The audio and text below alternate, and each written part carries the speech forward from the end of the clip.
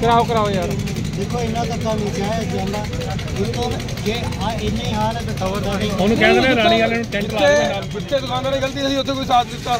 ਅਸੀਂ ਕਿਹਾ ਵੀ ਤੁਸੀਂ ਢਾਲੋ ਜਿਹੜਾ ਹੁਣ ਨਜਾਇਜ਼ ਆ ਉਹ ਤਾਂ ਫਿਰ ਨਹੀਂ ਨਹੀਂ। ਉੱਥੇ ਜਾਲੇ ਲੱਗਣੇ ਆ। ਉਹ ਵੀ ਹੈ ਵਧੀਆ ਲੱਗਾ ਕੋਈ ਨਹੀਂ ਕੋਈ ਨਹੀਂ ਬੰਦ ਕਰਾਓ ਕਹਿ ਦੋ। ਇਹ ਨਾ ਸਾਡੇ ਕਹੋਗੇ ਤਾਤੀ ਹੋਏਗਾ ਨਾ ਨਾਲ ਤਾਤੀ ਕਰਾਓ। ਅਸੀਂ ਉਹ ਸੀਸੀਟੀਵੀ ਕੈਮਰੇ ਲਵਾਏ ਮੈਂ ਸਾਰੇ ਨਾਲ ਹੈ ਕੋਈ ਐਸੀ ਗੱਲ ਨਹੀਂ ਹੈ। ਸਾਰੇ ਦੇ ਨਾਲ ਨਹੀਂ। ਤੁਹਾਡੇ ਨਾਲ ਸਾਰੇ ਨੇ। ਬੰਦ ਕਰ ਬੰਦ ਕਰੋ ਬੰਦ ਕਰਕੇ ਬਹਿਨੇ ਅਸੀਂ ਸਾਰੇ। ਕੋਈ ਬੰਦ ਕਰੋ। ਅਸੀਂ ਦੁਕਾਨਾਂ। ਅਸੀਂ ਦੁਕਾਨਾਂ ਬੰਦ ਕਰਨ ਲੱਗੇ ਆ ਲੌਸਮੈਂਟ ਕਰਾਓ ਨਾ। ਜਾਵੇ ਤਾਂ ਦੁਕਾਨਾਂ ਬੰਦ ਕਰਦੇ ਅਸੀਂ ਨਾਲ ਖੜੇ ਆ ਅਸੀਂ ਕਿਹੜੇ ਅਸੀਂ ਉਹਦੇ ਖਿਲਾਫ ਧਰਨੇ ਦੇ ਬੈਠਣ ਲੱਗੇ ਮਾਰਕੀਟ ਬੰਦ ਕਰਕੇ ਹੁਣੇ 5 ਮਿੰਟ ਆ ਹੋ ਗਏ। ਬੋਰਡ ਲਾ ਰਹੇ ਨੇ ਏਸੀ ਲਾ ਰਹੇ ਨੇ ਸੀਲਿੰਗ ਲਾ ਰਹੇ ਨੇ। ਕੀ ਕਰੀਏ ਅਸੀਂ? ਕਰ ਦੋ ਨੂੰ ਸਾਡਾ ਸਾਡਾ ਕੰਮ ਸਾਰਾ ਬੰਦ ਪਿਆ। ਕਹਿ ਦੋ ਦੁਕਾਨਦਾਰ ਨੂੰ। ਸਾਰੇ ਦੁਕਾਨਦਾਰ ਕੀ ਮੇਰੀ ਬੇਨਤੀ ਹੈ ਸਾਰੇ ਇੱਥੇ ਜਦੋਂ ਵੀਡੀਓ ਚੱਲੀਏ ਪੰਜ ਵਜੇ ਕੇਸ ਬਣਾਓ ਕੱਲੀ ਕੱਲੀ ਦੁਕਾਨ ਤੇ। ਹਾਂ ਕੱਲੀ ਕੱਲੀ ਦੁਕਾਨ ਤੇ ਜਾ ਕੇ ਇੱਕ ਵਾਰ ਕਹਿ ਦੋ ਦੁਕਾਨ ਤੇ। ਬਣਾਓ ਦੇਖੋ ਜਿੱਥੇ ਤੁਸੀਂ ਗਲਤ ਹੋ ਉੱਥੇ ਤੁਹਾਨੂੰ ਗਲਤ ਕਹਿਣਗੇ।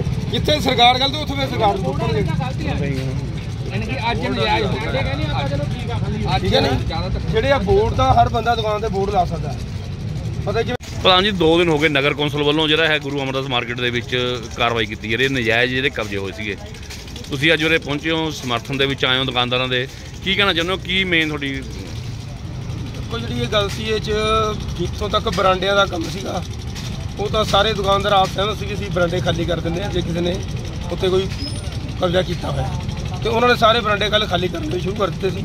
ਇਸ ਦੇ ਬਾਵਜੂਦ ਉਹਨਾਂ ਨੇ ਜੀਸੀਬੀ ਲਿਆ ਕੇ ਭੰਨ ਤੋੜ ਕੀਤੀ ਜਿਹੜੀ ਕਿ ਉਹ ਨਜਾਇਜ਼ ਸੀ। ਜਦੋਂ ਦੁਕਾਨਦਾਰ ਆਪ ਹੀ ਖਾਲੀ ਕਰਨ ਨੂੰ ਤਿਆਰ ਸੀ ਇਹ ਤੇ ਐਮਐਲਏ ਸਾਹਿਬ ਨੇ ਵੀ ਕਿਹਾ ਸੀ ਵੀ ਕੱਲ ਅਸੀਂ ਕੋਈ ਕਾਰਵਾਈ ਨਹੀਂ ਕਰਾਂਗੇ।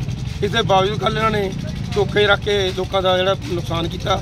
ਤੇ ਅੱਜ ਜਿਹੜਾ ਨਵਾਂ ਫਰਮਾਨ ਜਾਰੀ ਕੀਤਾ ਵੀ ਦੁਕਾਨਾਂ ਦੇ ਅੱਗੇ ਲੱਗੇ ਸਾਈਨ ਬੋਰਡ ਨੇ, ਉਹ ਲਾਏ ਜਾਣ, ਉਹ ਬਿਲਕੁਲ ਹੀ ਧੱਕਾ ਕਿਉਂਕਿ ਸਾਰੇ ਪੰਜਾਬ 'ਚ ਜਿੱਥੇ ਵੀ ਦੁਕਾਨਾਂ ਨੇ ਆ ਜੀਟੀਵੀ ਮਾਰਕੀਟ ਇਹਨਾਂ ਦੀ ਆਪਣੀ ਉੱਥੇ ਲਵਾ ਲੈਣ, ਉੱਥੇ ਕਿਉਂ ਨਹੀਂ ਲਾਏ? ਇਹਦਾ ਮਤਲਬ ਇੱਥੇ ਕੋਈ ਖਾਸ ਕਾਰਨ ਕਰਕੇ ਇੱਥੇ ਲੋਕਾਂ ਨਾਲ ਧੱਕਾ ਕੀਤਾ ਜਾ ਰਿਹਾ।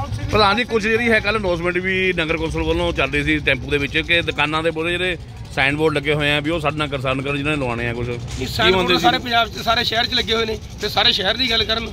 ਇੱਕ ਇਸ ਤੋਂ ਬਾਅਦ ਹੁਣ ਜੀਡੀਪੀ ਮਾਰਕੀਟ ਹੈ ਇਹ ਸ਼ਿਵਾ ਮਾਰਕੀਟ ਹੈ ਆਪਣੀ ਗੁਰੂ ਆਪਣਾ ਜਿਹੜਾ ਨਰੋਤਮ ਨਗਰ ਹੈ ਉਹਦੀ ਮਾਰਕੀਟ ਹੈ।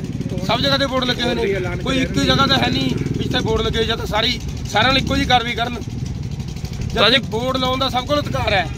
ਇਸ ਸਰਕਾਰ ਦਾ ਜਿਹੜੀ ਐਡਵਰਟਾਈਜ਼ਮੈਂਟ ਪਾਲਿਸੀ ਹੈ ਉਹਦੇ ਵਿੱਚ ਇੱਕ ਸਪੈਸ਼ਲ ਸਾਈਜ਼ ਲਿਖਿਆ ਜਿਹੜਾ ਕਿ ਬੋਰਡ ਆਪਣਾ ਲਾ ਸਕਦਾ। ਕੋਈ ਨਹੀਂ ਉਹਨੂੰ ਰੋਕ ਸਕਦਾ। ਪਰ ਇਹਨਾਂ ਨੇ ਉਹ ਵੀ ਨਹੀਂ ਇਜਾਜ਼ਤ ਦਿੱਤੀ ਇਹਨਾਂ ਸਾਰੇ ਲਵਾ ਦੇ ਤਾਂ ਬਿਲਕੁਲ ਹੀ ਧੱਕਾ। ਕੀ ਤਾਂ ਲੋਕ ਅੱਜ ਪਛਤਾ ਰਹੇ ਨੇ ਉਸ ਸਮੇਂ ਨੂੰ। ਸਾਨੂੰ ਲੋਕ ਮਿਲਦੇ ਨੇ ਉਹ ਕਹਿੰਦੇ ਵੀ ਅਸੀਂ ਤਾਂ ਬੇਵਕੂਫੀ ਕਰ ਲਈ ਜਾਂ ਅਸੀਂ ਗਲਤੀ ਕਰ ਲਈ ਜਾਂ ਅਸੀਂ ਧੋਖੇ ਆ ਗਏ ਜਾਂ ਅਸੀਂ ਗੱਲਾਂ ਆ ਗਏ।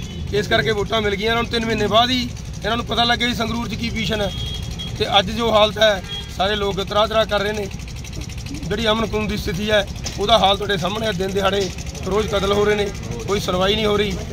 ਹੁਣ ਜਿਵੇਂ ਅੱਜ ਦੀ ਖਬਰ ਹੈ ਕਿ ਲੁਧਿਆਣਾ ਦਾ ਜਿਹੜਾ ਵਪਾਰੀ ਹੈ ਉਹ ਫਰੋਤੀਆਂ ਦੇ ਮਾਮਲੇ 'ਚ ਸਭ ਤੋਂ ਵੱਧ ਪਰੇਸ਼ਾਨ ਹੈ। ਸਭ ਤੋਂ ਵੱਧ ਫਰੋਤੀਆਂ ਲੁਧਿਆਣਾ ਦੇ ਕਾਰੋਬਾਰੀਆਂ ਨੂੰ ਦਿੱਤੀਆਂ ਜਾ ਰਹੀਆਂ ਨੇ। ਜਿਵੇਂ ਹੁਣ ਬੋਰਡ ਉਤਰ ਰਹੇ ਨੇ ਕੋਈ ਅੱਗੇ ਇਕੱਠੇ ਹੋ ਕੇ ਕੋਈ ਕਾਰਵਾਈ ਕਰਨ ਦਾ ਵੀ ਉਹਦਾ ਹੈ ਅੱਗੇ ਕੁਝ ਕਰ ਸੰਘਰਸ਼ ਕਰਨ ਦਾ? ਮੈਨੂੰ ਬੁਲਾਇਆ ਸੀ ਦੁਕਾਨਦਾਰਾਂ ਨੇ ਹੁਣ ਇਹਨਾਂ ਨਾਲ ਸਲਾਹ ਕਰਦੇ ਆ ਜੋ ਵੀ ਇਹ ਕਾਰਵਾਈ ਕਰਨਗੇ ਅਸੀਂ ਪਬਲਿਕ ਨੁਮਾਇੰਦਾ ਹੋਣ ਦੇ ਕਾਰਨ ਅਸੀਂ ਇਹਨਾਂ ਦੀ ਜਿੱਥੇ ਇਹਨਾਂ ਨਾਲ ਧੱਕਾ ਹੋਊਗਾ ਉੱਥੇ ਇਹਨਾਂ ਦੀ ਸਪੋਰਟ ਕਰਾਂਗੇ ਜਿੱਥੇ ਇਹਨਾਂ ਦੀ ਕਮੀ ਸੀ ਉਹ ਅਸੀਂ ਇਹਨਾਂ ਨੂੰ ਪਹਿਲਾਂ ਹੀ ਕਹਤਾ ਸੀ ਵੀ ਤੁਸੀਂ ਇਹ ਇਹ ਕੰਮ ਨੂੰ ਠੀਕ ਕਰ ਲਓ ਤੇ ਉਹਨਾਂ ਨੇ ਠੀਕ ਕਰ ਲਿਆ ਹੁਣ ਦੇ ਉਸ ਦੇ ਬਾਵਜੂਦ ਇਹਨਾਂ ਦਾ ਧੱਕਾ ਹੋ ਰਿਹਾ ਉਹਦੇ ਨਾਲ ਇਹਨਾਂ ਦੇ ਸਾਥ ਅਸੀਂ ਦਵਾਂਗੇ। ਇੰਪਰੂਵਮੈਂਟ ਟਰਸਟ ਦੇ ਵਿੱਚ ਮੇਰੇ ਕੋਲ ਇਹ ਸਾਰੇ ਸਾਥੀ ਇਕੱਠੇ ਹੋ ਕੇ ਆਏ ਸੀਗੇ। ਮੈਂ ਪ੍ਰੋਪਰਲੀ ਇਹਨਾਂ ਨੂੰ ਗੱਲ ਇਹਨਾਂ ਦੀ ਸੁਣ ਕੇ ਮੈਂ ਨਾਲ ਦੀ ਨਾਲ ਉੱਥੇ ਇੰਪਰੂਵਮੈਂਟ ਟਰਸਟ ਦੇ ਈਓ ਨੂੰ ਸੱਦਿਆ ਸੀ। ਈਓ ਨੂੰ ਸੱਦ ਕੇ ਮੈਂ ਉਹਨੂੰ ਕਿਹਾ ਸੀ ਵੀ ਵੀ ਇਹ ਕੀ ਮਸਲਾ ਹੈ ਵੀ ਜਿਹੜਾ ਤੁਸੀਂ ਇਸ ਤਰ੍ਹਾਂ ਦਾ ਜਾਨੀ ਕਿ ਬੜਾ ਹਾਰਡ ਸਟੈਪ ਚੱਕਣ ਲੱਗੇ ਹੋ। ਉਹ ਕਹਿੰਦੇ ਕਿ ਖੰਨੇ ਦੀ ਕਿਸੇ ਇੱਕ ਮਤਲਬ ਸੰਸਥਾ ਨੇ ਜਿਹਦੇ ਅ, ਜਾਣੀ ਕਿ ਸੰਸਥਾ ਦੇ ਜਿਹੜੇ ਮੁਖੀ ਨੇ ਪੀਡੀ ਬਾਂਸਲ ਸ਼ਾਇਦ ਜੇ ਮੈਂ ਅ, ਜਾਣੀ ਕਿ ਉਹਦੇ ਚ ਗਲਤ ਉਹਦੇ ਚ ਨਹੀਂ ਹੈਗਾ ਤਾਂ ਪੀਡੀ ਬਾਂਸਲ ਜੀ ਨੇ ਕੋਈ ਹਾਈ ਕੋਰਟ ਦੇ ਵਿੱਚ ਇਹਦੇ ਬਾਰੇ ਚ ਰਿਟ ਪਾਈ ਹੋਈ ਸੀ ਜਿਹੜੀ ਕਿ ਪਿਛਲੇ 5 ਸਾਲ ਦਾ ਕੇਸ ਚੱਲਦਾ ਸੀਗਾ। ਔਰ ਉਹ 5 ਸਾਲ ਬਾਅਦ ਹਾਈ ਕੋਰਟ ਨੇ ਉਹਦੇ ਹੁਕਮਾਂ ਨੂੰ ਮੰਨਦੇ ਹੋਏ ਹਾਈ ਕੋਰਟ ਦੇ ਹੁਕਮਾਂ ਨੂੰ ਮੰਨਦੇ ਹੋਏ ਉਹਨਾਂ ਨੇ ਜਿਹੜੇ ਚੀਫ ਸੈਕਟਰੀ ਨੇ ਚੀਫ ਸੈਕਟਰੀ ਨੂੰ ਇਸ ਕੇਸ ਦੇ ਵਿੱਚ ਜਾਣੀ ਕਿ ਪਾਰਟੀ ਬਣਾਉਂਦੇ ਹੋਏ ਇਹ ਗੱਲ ਕਹੀ ਸੀ ਕਿ ਤੁਸੀਂ ਇਹਦੇ ਤੇ ਜਿਹੜੀ ਨਜਾਇਜ਼ ਇਨਕਰੋਚਮੈਂਟ ਕਿਤੇ ਵੀ ਹੋਈ ਹੈ ਇਹਨੂੰ ਚੁਕਵਾਓ।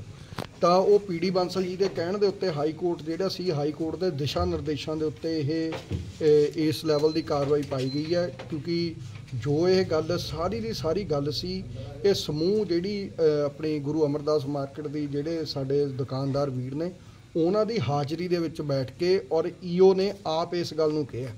ਔਰ ਇਹਨਾਂ ਨੇ ਕਿਹਾ ਸੀ ਸਾਨੂੰ ਦੋ ਤਿੰਨ ਦਿਨ ਦਾ ਟਾਈਮ ਦਿੱਤਾ ਜਾਵੇ ਤਾਂ ਮੈਂ ਉਹਨਾਂ ਨੂੰ ਇਹ ਗੱਲ ਕਹੀ ਸੀ ਵੀ ਦੋ ਦਿਨ ਦਾ ਟਾਈਮ ਦਿੱਤਾ ਜਾਵੇ ਤਾਂ ਜੋ ਜਿਹੜੇ ਸ਼ਟਰ ਨੇ ਤੇ ਅੱਗੇ ਜਿਹੜਾ ਸਮਾਨ ਪਿਆ ਇਹ ਆਪਣਾ ਮਹਿਫੂਜ਼ ਤਰੀਕੇ ਨਾਲ, ਸਹੀ ਤਰੀਕੇ ਨਾਲ ਉਤਾਰ ਸਕਣ। ਤੇ ਸ਼ਨੀਵਾਰ ਨੂੰ ਸ਼ੁੱਕਰਵਾਰ ਨੂੰ ਇਹਨਾਂ ਨੇ, ਇਹਨਾਂ ਦਾ ਟਾਈਮ ਸੀ ਜਿਹੜਾ ਉਹ ਸ਼ੁੱਕਰਵਾਰ ਤੱਕ ਦਾ ਦਿੱਤਾ ਸੀ ਤੇ ਸ਼ੁੱਕਰਵਾਰ ਨੂੰ ਇਹਨਾਂ ਨੇ ਫਿਰ ਜਿਹੜੀ ਆਪਣੀ ਇੰਪਰੂਵਮੈਂਟ ਟਰਸਟ ਹੈ ਉਹਨੇ ਕਾਰਵਾਈ ਪਾਈ ਹੈ। ਇਹਦਾ ਪਿੱਛੇ ਜਿੰਨਾ ਵੀ ਮਤਲਬ ਕੌਜ਼ ਸੀ ਉਹ ਹਾਈ ਕੋਰਟ ਦੇ ਨਿਸ਼- ਦਿਸ਼ਾ ਦਿਸ਼ਾ ਤੇ ਨਿਰਦੇਸ਼ ਸੀਗੇ।